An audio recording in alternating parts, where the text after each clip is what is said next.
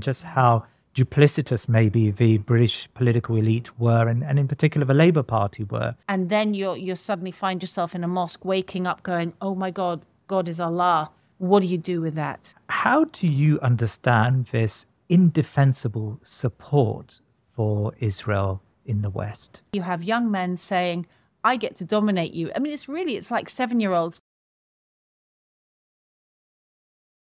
So you live in Istanbul, and anecdotally, it mm. seems to me that more and more Muslims have decided to leave the West and mm. to move to Muslim countries like Qatar or to Kuwait or to Istanbul. I think in Istanbul, we've seen, you know, a probably, I, I mean, last time I was there, I saw a, a, growth in a number of Westerners, Western Muslims who've decided to to live there. And, and most of them say they they just had enough of the uh, the criticisms they get in the West. Uh, they've had enough of the racism maybe they get or the Islamophobia, but also they fear for their kids. Mm. Um, it's now common for Muslims here to think about, if not moving to a different country, to think about pulling their kids uh, out of school. I mean, where do you stand on this discussion about how intense it's become in education and just general society towards Muslims? You know what? It's really interesting. For 10, 10 years, a friend of mine called Anisa, mm. she's an educator, mashallah. She has been raising the alert going, you don't know what's in the books. Really? She's been on these education groups that I'm on. She's like, mums, wake up. Ask to see the books on your kids' curriculum. What age? Not 11, not 10, 7 and 8. Mm. Ask to see them. Mm. And when you ask to see them, the teachers say you don't need to. Or now, increasingly, you can't see them hmm. in case you, you protest um, because it is such disgusting content in children's books at schools that they cannot show it on the news. The same nightly news that shows dead bodies and bombs falling and explosions and horrendous things going on cannot show the books that are being given to our four and five year olds. This, interestingly, this is a sign of a failing society. There was a study done in 1936 by uh, a, a, British academic, and he found the same trigger points for each failed civilization that he studied. Really? Yes. Rise in androgyny, uh, liber- not liberation of women, mm, I forget the word, but it's basically uh, no protection of the women, right? And um, the, the sexualization of society, a rise in homosexuality, all of these things are happening. It's a dire situation, and I totally understand Muslim families wanting to leave. It is.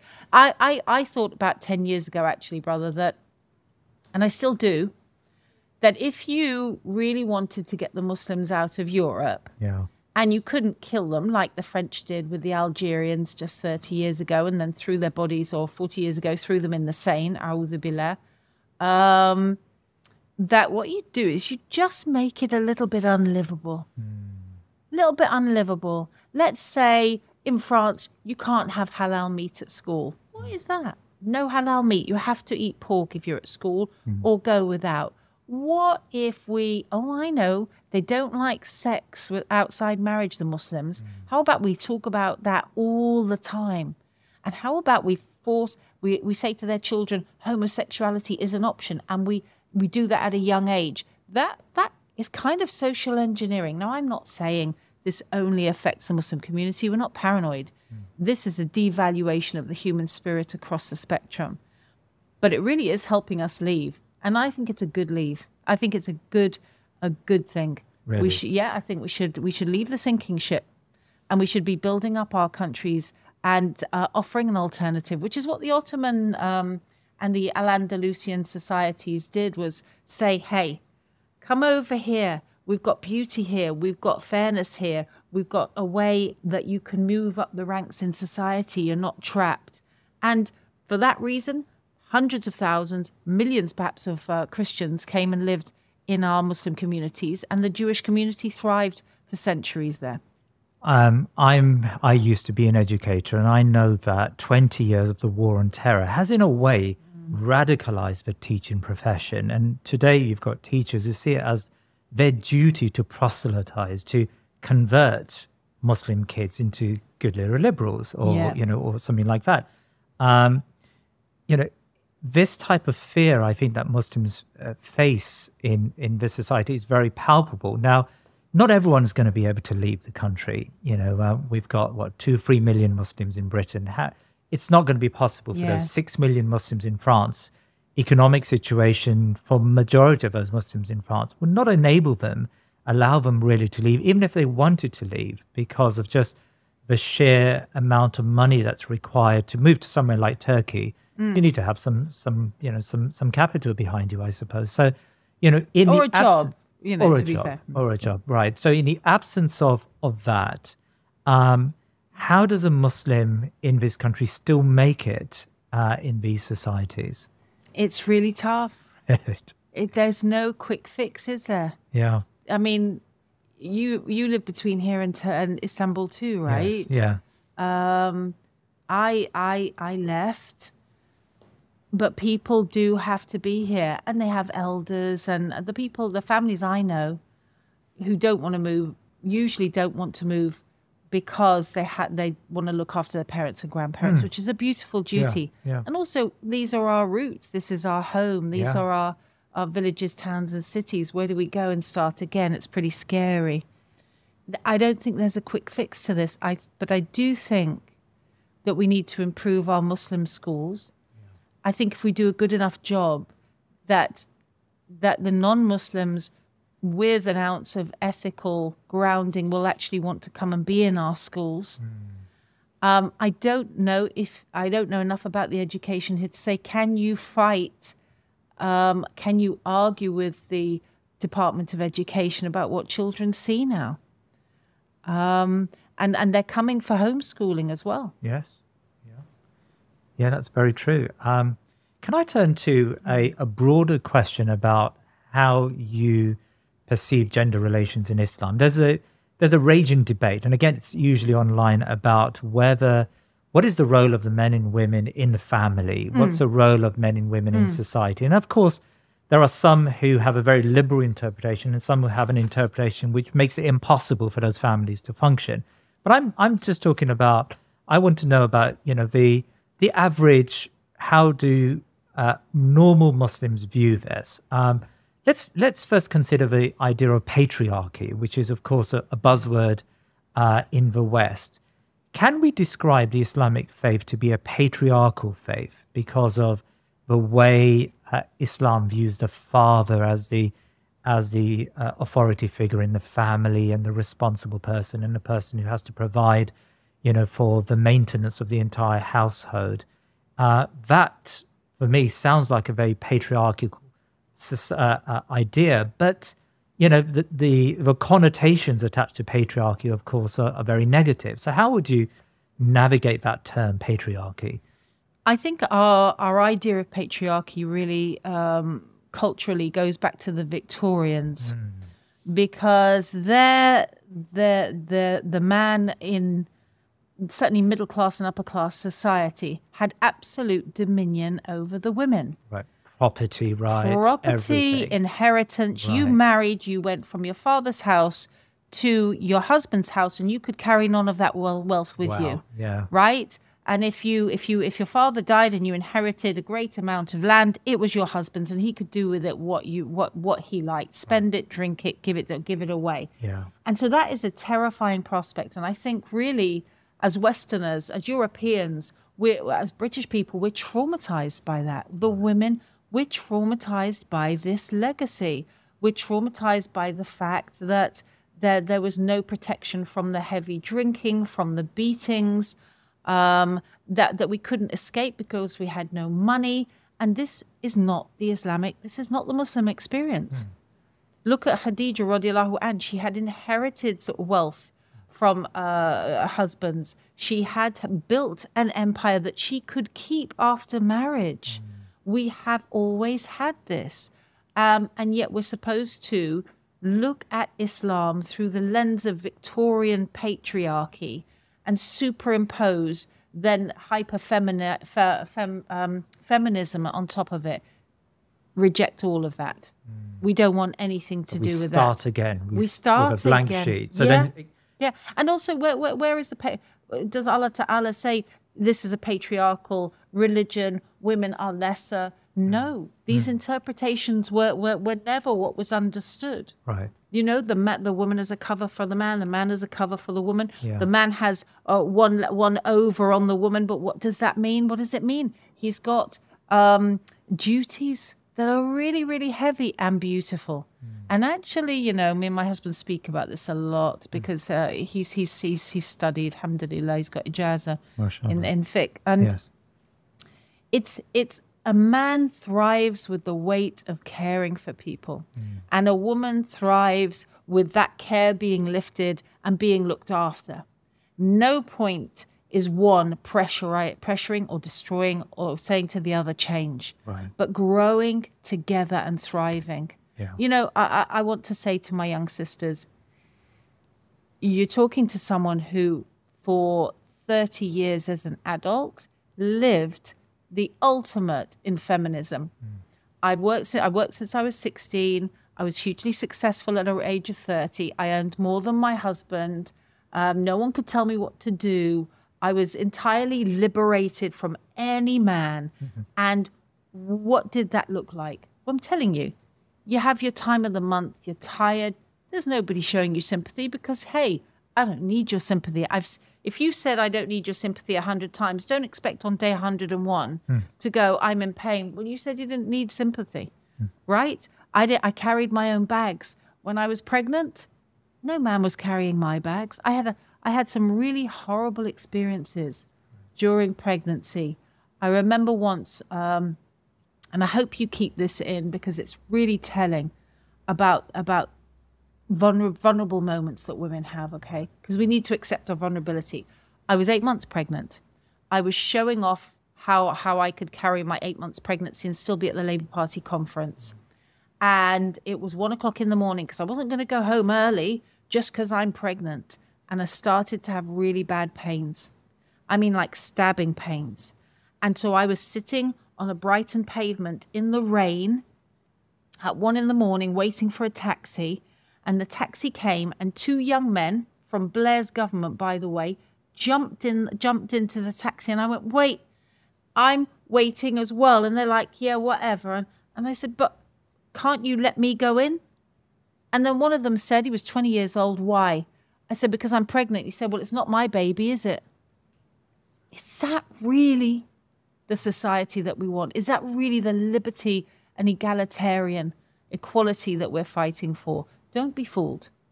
Um, I want to give another example because because this this this made me laugh. I was on an underground train a couple of years ago, and I saw a young black sister, and she was looking like she was absolutely going to faint. I don't know whether she was ill or just ha- had been been working hard, and she was exhausted, standing up. And next to me was a young man, and he looked Asian. I just love being an auntie. That's something else, by the way. Grow, you know, Islam gives you a status to grow into. Yes. I can be as an ignore, annoying and bossy, and people are like, oh, it's auntie, leave auntie alone. It's wonderful, you know, you have that space. Anyway, Yes. the young man next to me, young Asian guy, and I said, excuse me, brother, are you Muslim? Hmm. He said, yes, I am. I said, then get out of that chair and let the Muslim sister sit down. Hmm. And he was like, "Oh, okay, auntie. Do you know what she did? No, I'm all right, thanks. Hmm. Said, You're going to sit down and you're about to have a three stop lecture from me about how to enable men to look after you. Hmm. Yeah? Because we're not enabling our men any longer to be the carers. And, and that makes them bitter and frigid and more likely to say, I don't want to care for you. You don't deserve it. You're this, you're that. Leads leading to these these schisms Yeah. and illnesses. And and I just wanted to end on that point of the patriarchy. Islam, Allah Ta'ala sees believers and cares about piety. That's very clear from all of the texts. There isn't a male female divide. Um, you know, it's not men in this line. Oh, yeah, you get fast track to Jannah. Show me that tract. Show me where it says that. It doesn't. Alhamdulillah. You know, the patient ones, the sabareen, the kind ones, the good ones, the ones who give charity, the ones who pray to their Lord, the ones that that's that's our parameters, not the patriarchy. There's an interesting point you made there about the friction that exists in wider society and the spillover into the Muslim community. I've noticed, and again, this may be, uh, and we don't have to talk about him in particular, but the Andrew Tate effect, where there is this extreme response to hyperfeminism, and the response is this machoism, where with it comes this attitude that all women are bad. I mean, I think it's it's maybe a response, may not be a response, but there is a, an associated um, uh, feeling amongst women that all men are bad, all men are evil. Mm. And that doesn't lead to very good relations between men and women. Um, we've noticed, and again, you know, you've been out of the country from, for, for a while, but we've noticed in this last year or two that the Andrew Tate type of ideas have started to develop currency amongst young men and young Muslim men and some of it may be may be positive, you know, giving them given, but a lot of it actually is a an un-Islamic uh, way of viewing women. I mean, how have you come across this? And, and, and it's a confusing world for young men as well as young women, I suspect. Listen, I, you know, be right on the cutting edge of it with a daughter mm. at university. You have young men saying, I get to dominate you. I mean, it's really, it's like seven year olds going, eh, I don't like boys. Eh, I don't like girls. Yeah. You know, I don't like you because I, uh, you're less than me and I don't like you because you smell. It's pathetic. And it really is damaging uh, the, the relations between the genders um, for our young Muslims, subhanAllah. You know, you've got, you've got an environment where a young man can, and I've heard this twice recently, in two potential marriages. There were two engagements, and uh, both times the young men said, "I have the right to check your emails and your phone." Wow, really? Yeah, and the family of the young women went hell to the no, mm. because because that is psychologically controlling behavior. Yes, and it's unhealthy. But these sort of you know noises off, if you like, these surround sound. Um, I'm not going to even name them. Mm. The, these these people on social media, these men on social media who have their own toxic problems and their own, you know, lack of spirituality. It's a lack of spirituality from the brothers to to to to look at themselves and to say, "Am I? How am I being beautiful? How am I being kind? How am I going to bring kindness into this?" Chivalrous. That's leadership. Yeah. That is leadership. Yeah. Being chivalrous is leadership. And on the other side, yes, we have a fractured and um, and um, what's it when it's um, it's not frigid, it's um, easily breakable version of a female femininity where they're afraid of the men. Mm. And then that makes us more likely to run to the safety of the office, the safety of having our own money, the safety of a life without a family because I'm afraid of you. And we all need to get breach that gap. We, we all, all of us uh, you know, the, the learned people, the ones who are who are uh, you know role models or speakers, however you want to to call our, us elders. We need to to bridge that gap and say, come on, guys, speak to each other. Let's because I think it's hyper hyper individualism. Right. Is is an issue here. Right. So to explain that hyper individualism, it's that yeah. it's about my rights uh, and about my response, my obligation, and that's it. That's all that counts. Yeah. You've. I mean, you know, I mean, we think so. A lot of the brothers, the young brothers, are saying feminism, and everything that a woman wants is now feminism. Mm. She's the kind of woman who wants two dresses, not one. Feminist. what are you talking about? Yeah. She's the kind of woman who would like to have her own keys to the door. Feminist. No, what? Everything is called feminist now. Yes. And it's such a a derogatory term. That's true. Yeah. Isn't it? Yeah. It's just bandied about yeah. for normative behaviors. Yeah. Uh, Jazakallah I think that's uh, that's interesting. I, I suspect there needs to be more effort, probably from uh, Islamic scholars or Muslim role models to to address this subject in a more uh, rational way, in a more sensible way, probably. Sure. Um, I know Imam Dawood Walid has written a book on Islamic chivalry, Muslim chivalry, nice. and he gives classes. Mm to young men as to how they should you know how they should respond to women and what should be their response and brittle was the word, word brittle, i was thinking right. of to, to my young sisters i'd say don't be brittle mm. okay if if a young man says can i take your chair say thank you so much yes mm-hmm. It doesn't make you weak. It makes you cared for. It makes you a part of that society. I'm a big one for going to events. And at the end, the sisters always want to gather the chairs. I'm like, no, you don't move anything. Brothers, get in there. Let's use those muscles that you're buffing up at the gym. Come and do something useful. You know, we need to give each other spaces. And um, when I said hyper individualism, what did I mean? I meant there's a, there, like you said, there's a selfishness. If you are a young sister and you want to go into marriage and you're like, but I'm not going to cook and I ain't going to do this. And well, what is the point of marriage? You just want a flat chair, basically, with somebody paying your bills. No one's going to buy into that. It's not fair and it's not nice. It's not kind. Just be kind to each other. Why can't people just be normal? Can I can I ask you a a, a couple of political questions? I know a lot of your your book uh, does discuss um, your politics prior to becoming Muslim and how you you changed um, not only socially and change in, in terms of your spiritual attitude, but also your political understanding. And um, the Iraq War uh, is is I think a a a key milestone in your political journey, and just how duplicitous maybe the British political elite were, and, and in particular the Labour Party were, in taking Britain to war. I mean, again, you're from a from someone who now lives a lot of the year outside of the country. Has any of that improved? Do you feel that British politics has moved on since that disastrous Iraq War decision? Well, you know, this book really tracks a, a, a, a spiritual and a political journey of a person who wanted to have beliefs but not do anything about it. Right.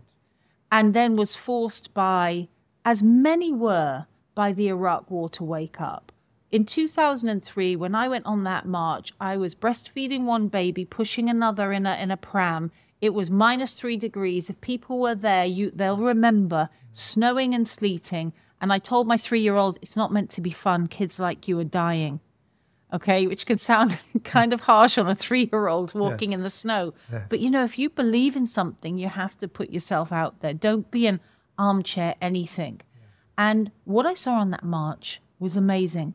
There were there were women from Middle England who told me, "I've never been on a march before, you know, dear, but this isn't right. What's happening?"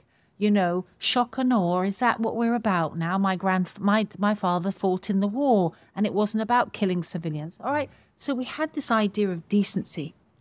And what the Iraq War did was it wrecked our version of ourselves as British people. This was before you became Muslim. This was before. Ah, Yeah. And I, I actually um, I met Yusuf Chambers because of my activity there.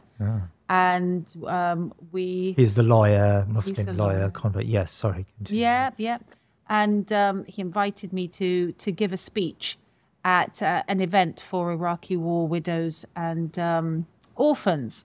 And I bring it up because that that event was where the first time I'd really experienced segregation of the genders Right. in my life. Yes. So I was speaking on the stage, and then Yusuf said, and then I saw all the cool guys sitting over there, and the sheikhs and uh, Cat Stevens, Yusuf um, Islam, was there, Yeah. and I'm like, oh, I'll be sitting over there, and Yusuf went, no, no, the women are over here, and I went, mm. Yeah. I'm really like a sulky child, and I, being a thinking person by the grace of Allah, I thought to myself, oh my god, I think I'm a misogynist because I don't like women. I don't want to say, and not apart from that, all the racist racism thoughts that I was having, like, oh God, going to be talking about biryani and kids. Ugh. How I mean, these were all things sure, that that we can ignore or actually pick out in ourselves. But, And Islam is a very reflective, mashallah, um, uh, you know, uh, spiritual way of life. So, Yes. so I picked up on those. Anyway, I, I went to the table, and there was the first niqabi I'd ever spoken to. Right. So she's sitting opposite the table, and I thought I'll just be nice and engage her. Poor thing, hmm. you know, hmm. uh, a little bit about kitchen stuff. I said, "So what do you do?" And I fully expected to say I've got seven kids hmm. and I'm a third wife. And she said, "Oh, I'm studying civil civil engineering um, at the University of X, Y, and Z. I'm in my fourth year. You know, I got a first in this and da da da, da and I'm leading my class." And I was like, "Oh right." and she wiped the floor with me intellectually she just she she got the mop she put me in there and she wiped the floor with me. And i loved it because i thought good on you. And what she said to me coming right back and circling back to the beginning of our discussion what does modesty mean to her? She said she used to be when she first started university to fit in she was in a t-shirt and jeans. And um, she noticed the men looking at her. And when she got up, she might she, she knew there was an uptick in the scoring hmm. because, because people liked her presentation because she was pretty. Hmm. And she said, then I started getting closer to my dean, and I wanted to to take away those triggers and protect myself for my Lord, my family, and now I have to work not twice as hard, exponentially hard in my presentations hmm. because I have nothing here. But my words are good enough for me to be the head of that class. I'm like, boy, I got it. I think that's the moment I got modesty, and that's the moment I started to like women. Can I ask you about uh, your book, your biography, your memoir, In Search of a Holy Land? I I read uh, a really uh, fascinating section in the book about your uh, your experience. I mean, you were someone who was very much in favor of Tony Blair. Of course, he's a rel- relative of yours. I mean, our viewers would know that he's married to your sister, and you were very much someone who was within the the Labour mode, and you supported New Labour as the alternative to uh, to you know to conservatism, which was of course you know horrid in in the 1990s. Oh, it's horrid now. and it's still horrid. That's true. That's very true. Uh, but then there was a change in in your view of Labour, and the Iraq War, of course, as you've just discussed, you know, comes into that. But uh, you know, I found it a fascinating read, and and um, in a way, it allowed me to understand how someone who was a non-Muslim viewed those years, because from a Muslim mm. perspective, you know, I saw it very much as a war on terror. This is a, a prime minister who's getting close to Bush, and you know, it, it- it's it's amazing. Every day there was something on TV about Muslims, and every other day Tony Blair was announcing an anti-terror law. And you know, I just felt that Muslims were under siege during that period. So it was mm. fascinating to see from your perspective, but just from a broader sense. I mean, what lay behind? Why did you write this book, your memoir? I, I wrote this for somebody like myself in my 20s who got a sense that that this isn't it this table this mug this world isn't it the material world that there's something more uh, out there but couldn't put my finger on it and many of the, the the people that we meet they're exploring buddhism and they're going through the tick boxes. Even veganism is almost like a religious cult now. You're cleansing your body to get closer to some amorphous being right? But the minute but what is the access point to a spirituality that leads to god? I mm. wanted to to give that access point and also to run through the the, the differences in the culture the things that have been happening over the last 25 years. Who were we and who are we now? And there's so much in there as well about traveling to Muslim lands and to accepting my own innate prejudices as well. I hope I've done it in a humorous way. Um, I think p- people do tell me that, yes, I laughed my way through it and I cried my way through it. But that honesty about what I thought about Muslims, then you meet them, and then you're you suddenly find yourself in a mosque, waking up, going, "Oh my God, God is Allah," and this guy Muhammad, I I, th- I kind of think he's the last prophet. What do you do with that? Mm.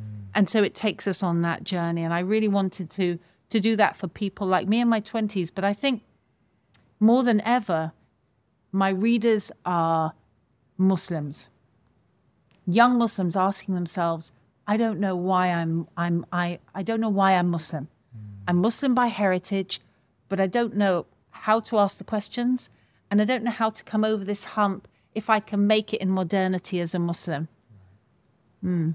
It answers those questions, inshallah, in what in, in, in one in, in one way, from a Western perspective to an Eastern perspective, from a from a Christian to a Muslim. Can I ask you one last question about Palestine? Now, you've been a advocate for Palestinian rights for a very long time, and um, you know it's often quite perplexing to just see how Israel is treated in a very double.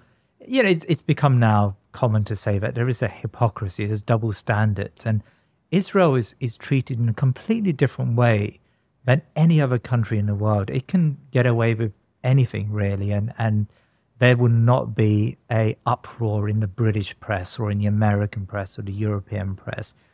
How do you understand this indefensible support for Israel in the West?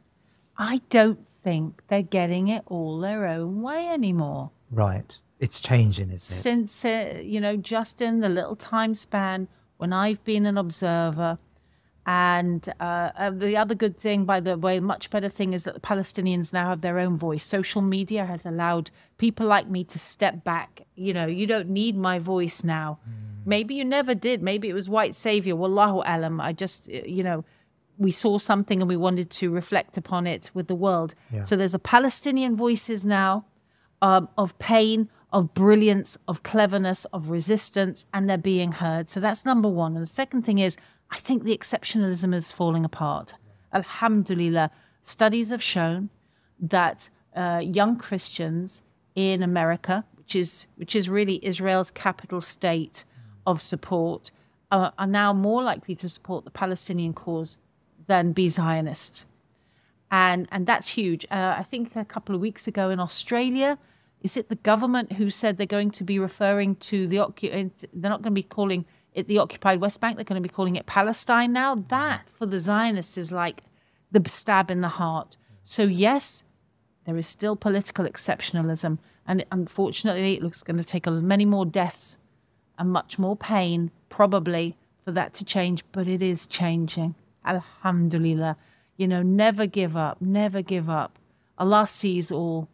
They they want to destroy Allah. So Allah, you know, Allah, Allah is with the believers, and the world is waking up. So I, I actually feel much more positive than I did at the start of my personal experience with the quest, this question in 2005.